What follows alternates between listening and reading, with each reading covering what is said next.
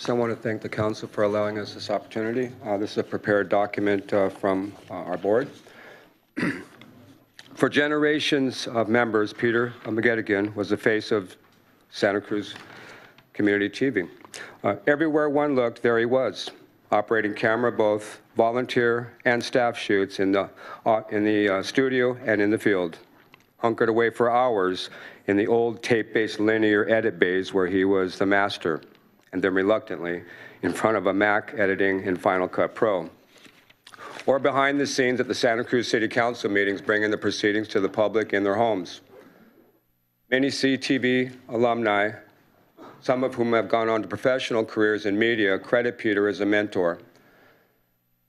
Beyond how to frame a shot, he taught them the intangibles, things that aren't typically taught in classes, how to put talent at ease, how to take control of an event space, not designed for video or sound, and rearrange the entire room to guarantee a good recording.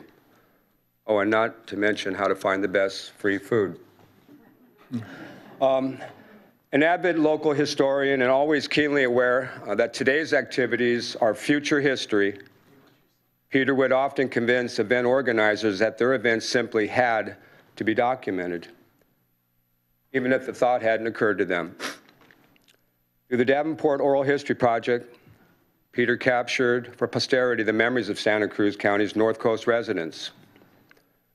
Known by his friends for his daring yet always classy fashion sense, Peter was a passionate thrift store bargain hunter and would often gift his finds to deserving recipients. He was quite fond of cooking uh, for his friends and breaking bread over a fine glass of wine.